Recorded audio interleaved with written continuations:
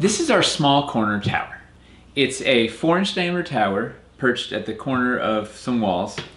It has a staircase inside and lots of cool details. So let's take a look. All right, so at the top here, we've got six inch machicolated battlements. These things make anything look fortified and ready for battle. Hiding behind them, we have an arbalist, on a rotating stand, and bucket of bolts. Uh, we've got these swinging removable shutters, iron-backed reinforced, ladder to get down below, hinged operable removable trapdoor. Uh, these battlements themselves are quarter circles, so you can do three quarter or half battlements if you're doing in your regular build. Uh, and they pop on with magnets and slots and designed to be able to carry around as a unit. Uh, the first level is all arrow slits. It's big half arrow slit walls. We've got a trapdoor. Uh, there should be a ladder there. There's a ladder missing in this one. There's a ladder to get down to the next level. The next level down, this one's interesting, is we have like the three quarter floor, so there's a slot for the stairs down below. And then this is a door, hinged door, so that we can get onto the tower here. Um, on the tower, we've got a little uh, backfill piece to fill out the rest of the circle. Door opens up onto the wall there. This thing off underneath it, we've got a three quarter inch, a three quarter roof platform, the Pac-Man shape. Uh, that's to level out with the wall platform there. Also good if you're building on the roof with crenellations, it holds those up. Uh, then down below, we have this, uh, this is another three quarter with a hole down for stairs and some cool little spiral stairs in there.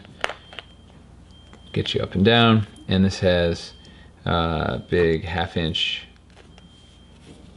half inch solid wall. And a quarter solid. And this thing also has uh, these little magnetic corner post pieces are to fill the little gap and there we'll get there in a sec. And then the bottom, all solid and some stairs. It's like your little dungeon level down there. Um, so we've got these are just regular wall segments. On either side you can see the walls video to learn about the walls. Um,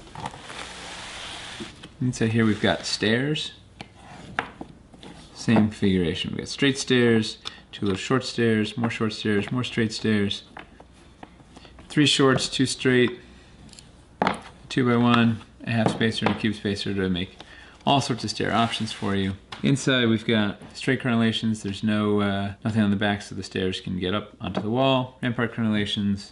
So in the back here we have a corner wall platform. Nice snug fit uh, two inside corner wall pieces, a uh, corner spacer, and then our two beveled cutout corner wall pieces.